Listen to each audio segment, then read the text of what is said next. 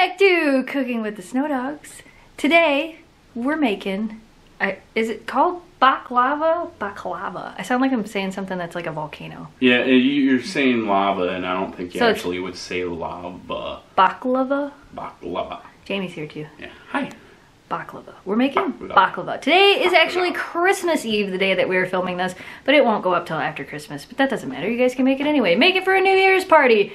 Make it for whatever. If you've never had it before, it's delicious. We are making a walnut version. And with the invention, well, not the invention, but the accessibility of this this phyllo dough, Hello, dough. it makes it makes this really easy. Yes, because otherwise we would have to make super thin And then pastry crust. never tastes the same. You Right. really have to be good at making this in Right. order for it to turn out.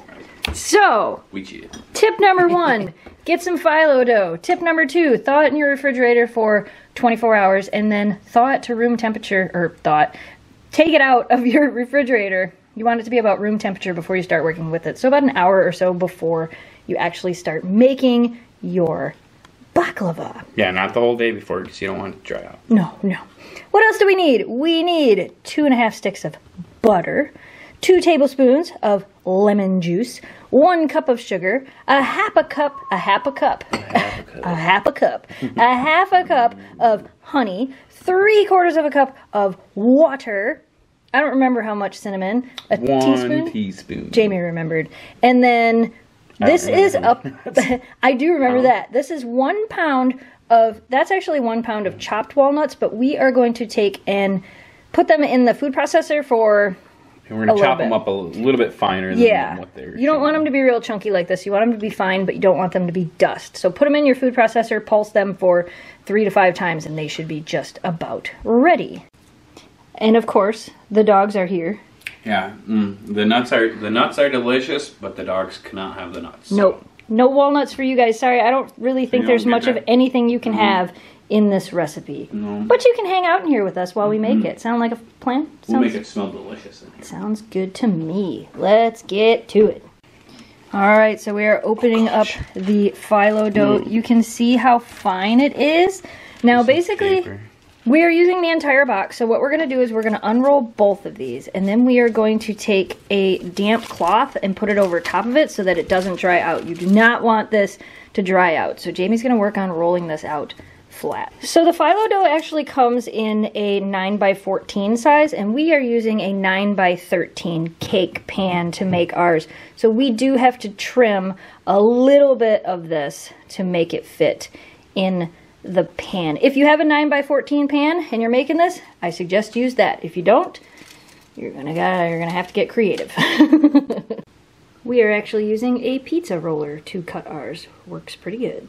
So the next thing we're gonna do is we are going to prepare the, I guess it's like a honey sauce. I don't even know what it is. Mm-hmm. We are going to take the sugar, The sweet part of it. yeah, the sugar, the honey, the lemon juice, and the water. We're going to Mix them all up. We're gonna put it in this pan and we are going to put it on a medium to high heat and we're gonna stir it together until the sugar is dissolved. So that's what we're gonna work on right now. Mm. Pour in some water. Sugar. Mmm, sugar. Splash of lemon juice. Now the sticky part. Mmm, sticky. Honey. And some honey. And that is local Michigan honey. It is actually, uh, I don't remember what they call it, but it's like local bees from our area. Believe it or not, it really is. I made sure to get local honey because local honey's the best. Ooh, Kira knows something. Don't you even think about it. She does know better than to jump up on the stove. That is one thing that I've been working with teaching her. She's like, hmm, but I like honey. You probably could have some honey, honey. Memphis is like, me? Can I have some honey? No, you guys aren't going to have any of this right now. We're going to go ahead and stir this and bring it to a boil, and we want all of that sugar to dissolve. Yeah, you said it was local honey, so I thought you guys could have this some What? good honey from. Oh, here you can clean this one too. It's I know. Now you gotta wash everything before you put. Don't worry, guys. We Yeah, really do it. wash our hands a lot when we cook, and we wash our utensils a lot when we cook. Because I mean, how can you not share with these cuties? Mm-hmm. Is that sticky icky? Sticky, sticky, sticky. Yeah. All right. So while Jamie is working on that, I am going to pulse these up just a little bit finer than they are in my little KitchenAid mixer. So this is the walnuts before. This is about what they should look like after. So you can tell it's just a little bit more finely chopped. So the whole time Jamie is doing this, all I can think of is that Absofacto song, Dissolve. all of our sugar is pretty much now dissolved. Now we're just waiting for this to boil a little bit. Pretty close. I can hear it starting to simmer Yep. underneath. So once this comes to a boil, then we are going to turn it down to low and we're going to let it continue to boil at a lower temperature for four minutes and we're not going to stir it. That's going to help dissolve all the water and thicken it up. While that is finishing up, I am going to take and melt our butter. So we are going to take our finely chopped walnuts, pour them in a little bit bigger of a bowl, and we're going to take the cinnamon and pour it in there as well. And then we're just going to stir it together so that it all gets coated with cinnamon. Stir that all together. Ooh, that smells great. It really does. Now it smells like Christmas. so with this preparing and the butter melting, we are going to go ahead and preheat our oven to 325 degrees Fahrenheit. So now we are going to butter our pan.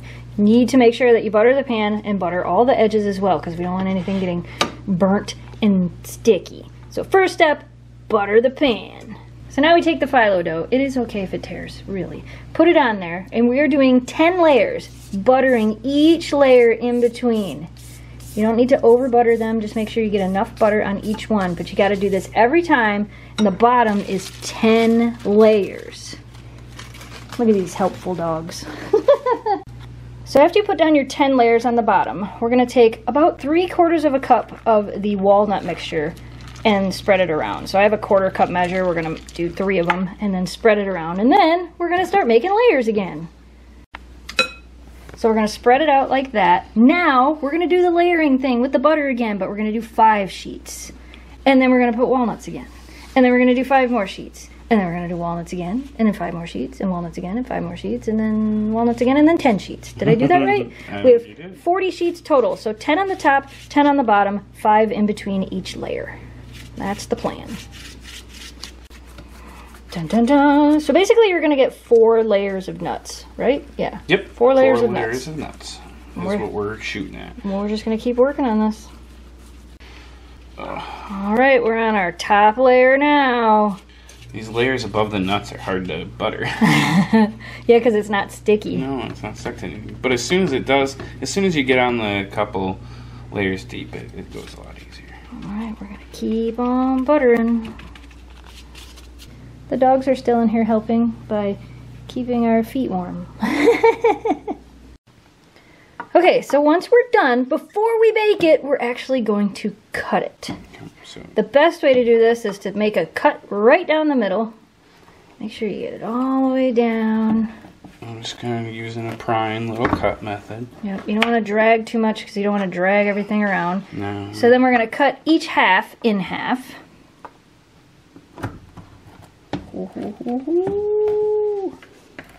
And again, doesn't have to be perfect.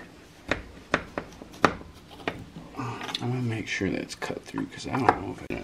So now we're actually going to form these into diamonds. I'm gonna start with the corner here. You can start really anywhere and just uh, you can work from the center and work your way out. But I'm gonna go about this is a good size for right that final piece. This one's a little small. I meant to make that bigger. That's okay. And then we're just gonna follow that pattern all the way across. And this is it gets a little tricky. If you need to, you can put like a toothpick or something through it to hold it down. But if you just press down and cut, There you go. Make little diamonds. We got this. so we got our little diamond shapes. Some of these ones over here are a little bit big, but that's perfectly fine. If you want a big piece, they're over there. If you want a little piece, they're over here. I think it's going to work out perfect. We're going to put this in the oven for about an hour to an hour and 15 minutes. The top's going to get nice and brown. And don't forget about this stuff. Make sure it's, uh, you know, cooling over there. We're going to use that after this comes out of the oven. So after an hour and 15 minutes about, it's done. So now we're going to take the syrupy stuff and spoon it all over it. And that's exactly the noise it should be making. It's to cook it right on there. So now we're just going to keep doing that. Mm. It's all drizzled. Now We gotta leave it sit out. It's perfect. Needs to sit for what, four to six hours or overnight. We're actually leaving ours overnight. Yep. You want it to get to room temperature, so all of that stuff gets a chance to soak in and then kind of solidify again. Yeah. I guess Yep. that's what we're what we're hoping for. It looks amazing. It looks does. beautiful. This is the second time we've made it. This looks way better than the first time. Uh, yeah, yeah. I mean, yeah, yeah. I would It agree. does. I would agree. Yeah. Looks better than the first time. So, We'll have to try it. So uh, we can't try it till Christmas. so I guess we're gonna take it with us I mean, tomorrow. there's some small little pieces right there, but you can't. Have no, it we can't have it till tomorrow hot. anyway. So. Yeah. All right, we're gonna let it sit. So we took the baklava to Christmas dinner, and we ate almost half the pan. Mm-hmm. But I forgot to get a clip of anybody trying it, so I have three pieces cut. And look, Greg's here. Would you like to try it first? Sure. Uh-huh. There you go. It's four nuts. Of course, we we already had our first reaction of what it tasted like, but you got to give the internet the the reaction. Okay, so here's a look. It's It's so. really good. we already ate so much of it. We're still eating more with the same reaction. It's full of nuts and I still like it. Yeah, Greg doesn't like walnuts, and it's full of walnuts. Delicious. Mm-hmm. All right, I'm gonna eat my piece. Mm-hmm. Well, I think it was a hit because it's pretty much gone now. Forgot to film an outro to this video. Hope you guys liked it. Let us know down in the comments what you want us to make next. Thanks for watching. Thanks for subscribing. Stay positive. Dream big. And tell us what we should make next for food, guys. trying to get back on track on this channel. I really am. It's going to take me a little bit to figure it out, but I'm working on it. But this was delicious.